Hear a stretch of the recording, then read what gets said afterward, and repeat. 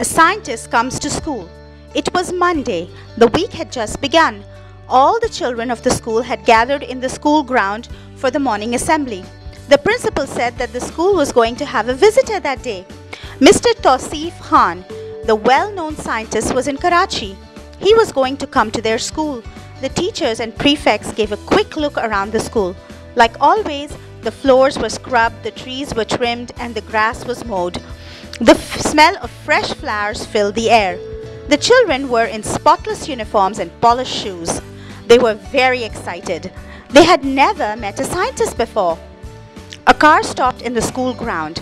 Mr. Khan got out of the car. He walked with the principal to the office.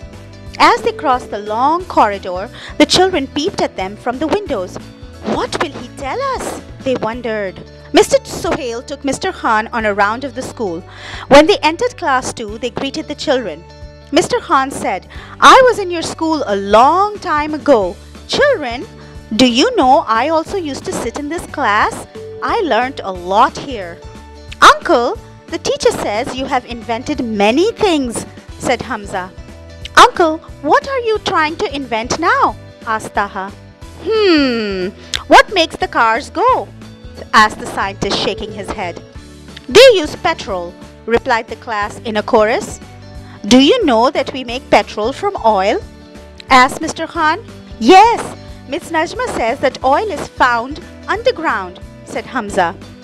My father says that petrol is very expensive. We must use our cars carefully, said Aslam. Yes, you are right. MashaAllah, you are all very bright children.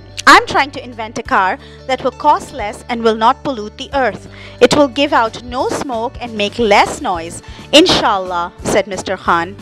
How are you going to do this? asked Aslam. Allah subhanahu wa ta'ala has given us a great source of free energy, said the scientist. Can you guess what it is? The sun, replied the whole class.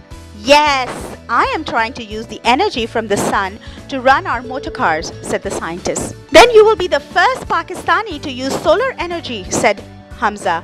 Well, Alhamdulillah, Muslims have been the first in many fields, said Mr. Khan. The cannon was invented by Mir Fatah. The telescope was invented by Abul Hassan. The sun clock was invented by Al Furghani. Al Idrisi was the first person to make a scientific map of the world.